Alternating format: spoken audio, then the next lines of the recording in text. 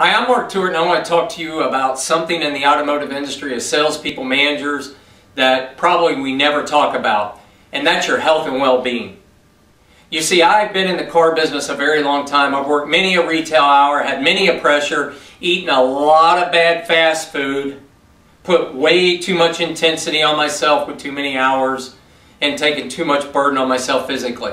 Have you ever done that? If you've worked retail, I promise you, you have done that. I want to share with you this. You can't sell, you can't make money, you can't be happy, you can't provide for your family if you're in ill health. Not to the maximum level. And you certainly can't help anybody or yourself if you're dead. So what I want you to do is start thinking about your health and wellness plan. I want you to change if you're eating poorly and getting rid of the fast food. I want you to think about your meals during the day. I want you to think about your exercise plan. If you say, I work 12, 14 hours a day and I can't exercise, I say, you better change your life. You better work 8 or 10 hours a day and do 2 hours of exercise or an hour of exercise, somewhere in there. Whether it's before, after, or during that day, you better get some exercise.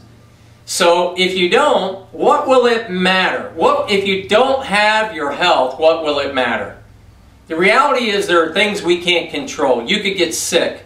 But if you can control your health and well-being that keeps you from getting sick, that keeps you from being in ill health, well, your mind and your body are connected. And the better your body, the better your mind, the better your mind, the better your body. I want you to start thinking this month, this is a month to change that you're going to look at your health and wellness plan, your eating, your exercise, your, your health and wellness for your brain. What are you feeding your brain every day, just like you feed your body?